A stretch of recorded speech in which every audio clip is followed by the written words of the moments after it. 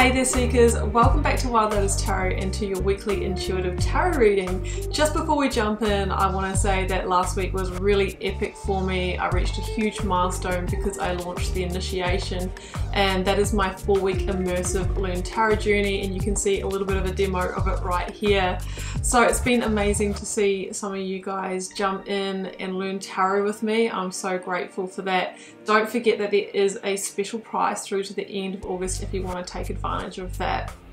You can also find me on Facebook, Instagram, and on TikTok, guys. Those links are also down there, including the link to my website should you want to arrange a personal reading or healing for yourself. I am available for those and would love to read for you. So I am wishing you so much love and magic for the week ahead. Let's get over to your reading now.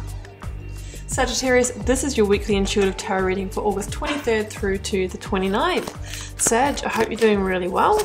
Let's see what just may be that's trying to get out on the cards for you for the week. Got the Work Your Light Oracle here, the Moonchild Tarot. I'm using the Rider-Waite and the Starchild Tarot Akashic for the tarot positions. Excuse the nails, guys. Terrible lockdown, uh, grooming going on here in Melbourne, Australia, and probably will be for the foreseeable future. I've got Trust the Niggle. What is that feeling trying to tell you? Guys, this is a card of trusting your intuition and knowing that really if something feels off, it probably is, or if something feels great, it probably is as well. Um, not as well, but you know, if that's how you feel about a situation. So this is about really feeling into your intuition and also the signs that your body gives you. It can come as that tightening feeling in your stomach or a feeling of um, joy and expansion through the body. There is so much wisdom that our body can can show us and, and, and lead us with, guys, but we do need to be tuned into uh, to, to feel that. So say that maybe a situation is a trying to tell you something this week I've got take a break, a life's work, not a season, get off the treadmill. This is an indication that some of you are, needing rest and needing a pause. Maybe you've been overworking, over exercising, uh, just overdoing it. And through taking a break, through slowing down and feeling into the stillness, that's often when we can access our intuition and where that guidance can actually come through for us as well. If we're so busy with our business, uh, generally we're just not tuned in enough, guys. We the magic is all around us, but you'll only uh, feel and, and hear and see the magic if you are, you know, in a in a slowed down and surrendered state.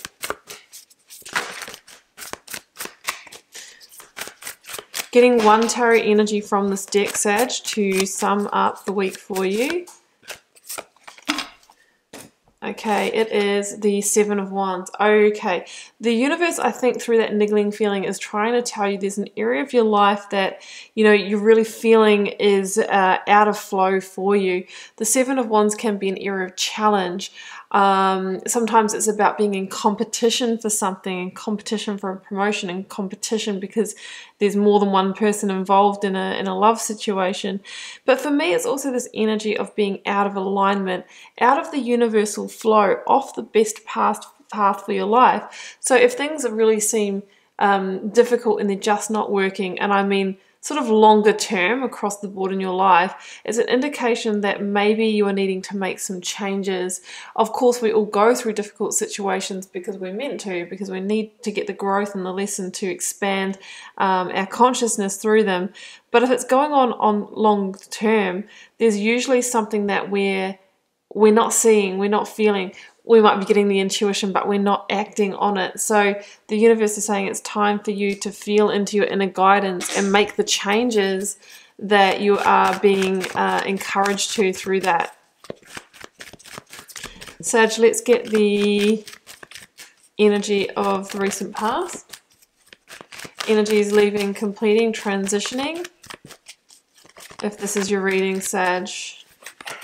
The chariot. Well, pretty clear message here, guys. This relates to moving on in a situation or making some kind of uh, physical relocation. I see the Ten of Swords trying to show itself here, so you probably do need to end something in order to do that. High Priestess, that is the intuition card, guys. It's just saying it's so strongly trying to, to lead you towards this hanged man. That's what's going to get you out of the stuck period that you might be feeling, get things moving, a new opportunity coming in. Let's get the clarifiers. Clarifying the chariot, three of wands. Two of wands. Ten of cups. That's what we want to see. Can we get, all right, we'll take that top one there. It is poking out. Oh, it's the hanged man again. One more. Queen of Cups. Okay, the cards are just saying it's so important to listen to your intuition, guys. We have got the Queen of Cups. That's Cancer energy. It's really about intuition as well. High Priestess um, you know, the intuition card here. And also there are there are two cards of cancer, so you may be dealing with a cancer energy. Okay, what I'm really feeling here is that the universe is trying to get your attention, that it is time to move on or move forward in a situation. Um, the chariot is about having that determination and the strength and courage to to make that change. Um, the chariot can talk about leaving a sense of comfort or home. So, for example, you might be needing to leave, uh, you know, a relationship that has become the comfort zone, but it doesn't necessarily mean that it is it is serving you well. Uh, a job can become a comfort zone as well, but you know, really, there's something else better uh, waiting for us, or it could be, you know, needing to make a physical location to another place for a for love or for a role. And of course, we have to leave something behind to do that. The cards are indicating though with the, the hanged man here that you were in a pattern where you did feel quite stuck and you were feeling confined. So this is about getting yourself moving again.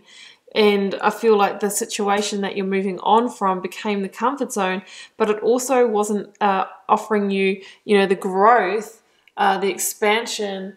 Um, it wasn't really offering you anything new here. And so the cards are saying you've probably outgrown it and it is time to close the door on that. And that's where I saw the Ten of Swords when this came out.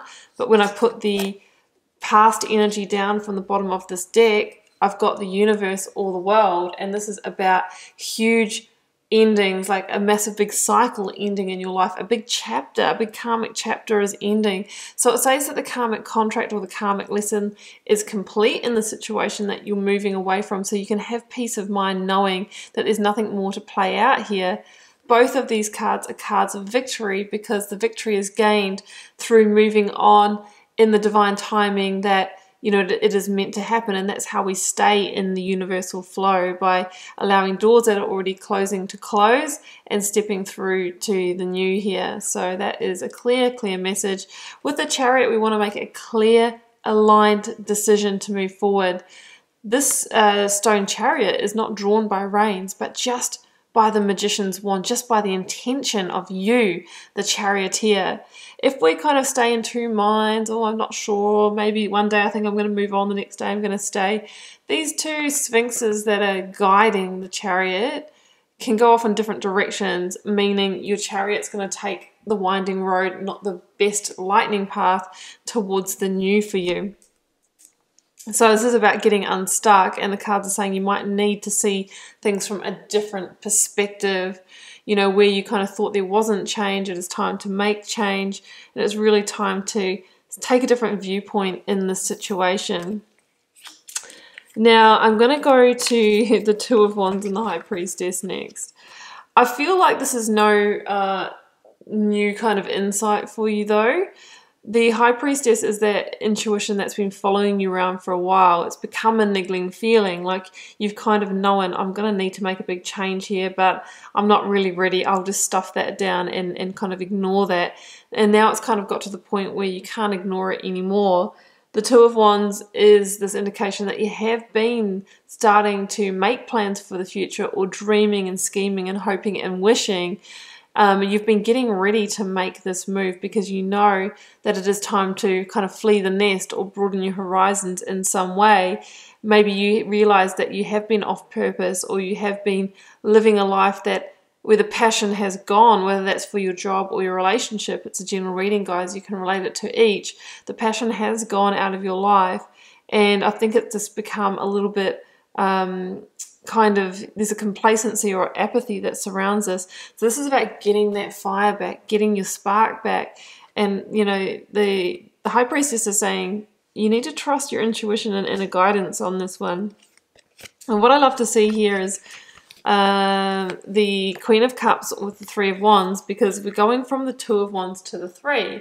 So in the Two, we've got somebody who's kind of just thinking about making a bold move and thinking and planning and scheming. The Three of Wands is somebody who has disconnected from the past situation and is getting ready to make a bigger, bolder move into the new. So I feel like this is the week that you actually initiate the moving forward. Maybe you have the conversation, the heartfelt conversation, maybe with a Queen of Cups, uh, whether that's male or female. This is a Cancer energy or water sign or somebody who who has been a solid stable for you. And you say, well, look, you know, I really feel like I need to um, you know, it's what I need to do. I need to go out in the big white world. I need to take this opportunity. I need to explore something new here. And as soon as you start making that move, you will get the feeling of victory. All those initial kind of indicators of success will show themselves to you. Stay emotionally grounded, guys. Stay compassionate, stay intuitive. That will be um, really important for you in this move. It's interesting because the Hanged Man, which is here twice in this reading, is waiting for that light bulb moment, that aha moment to really to move forward. And i feel like that's the intuitional insight that's coming through. There's going to be a message that comes to you that's like okay well if that's the last piece i am 100% know that i'm moving on now. Um, the hanged man can often need to they say die the death of the hanged man which is getting to a place of acceptance accepting when you know things have had their time and that the new is calling and that is the the the release, the trigger that releases and liberates the hanged man. And I feel that you know there is going to be strong, new, passionate beginnings coming up for you with the Ace of Wands that you would miss out on if you stayed in this situation. So the Ace of Wands is finally getting your spark back for life, your energy, your enthusiasm, your power. Um, it can be about starting a new cycle of growth it can be passionate new opportunities like passionate love or finding a job or opportunity that not only pays the bills but genuinely lights you up and gives you energy back as well. Some of you are going to go through a, a, leap in your spiritual development, spiritual awakening, which we often do when we close cycles and, and enter into the new. So the Ten of Cups says, you know, you are heading towards a greater sense of fulfillment and happiness a higher vibration as well and a best life energy. I'm seeing the Wheel of Fortune in reverse here saying, don't miss this opportunity to move with the karmic energies that are upon you to allow the, the wheel to turn to carry you into the new change. We can resist, we do have free will, but I feel like if you resist, you'll get more of the same. You will be still feeling that stuck feeling you'll still be without growth and that niggling feeling will just keep eating away at you. Instead, we want to work with the energies of release and forward movement of the chariot to have a shot at getting to our greatest sense of happiness and achievement and really high vibrational living and really setting up a beautiful you know home or life for yourself it all starts with having the courage to to move on from what is not serving you anymore, what is not meant for you, what has fallen out of flow for you, and embracing the new with great courage. So Saggy, I'm going to leave it there and I hope you enjoyed this reading. Keeping in mind it's a general reading for the collective, may or may not resonate for you. Feel free to drop me a comment. I do read them all and try and interact with you all over there as well. Helps me get to know you guys, connect with your energy and see what the collective themes are. Has been a pleasure to read your cards, Sag. See you back here for another one next week. Bye for now.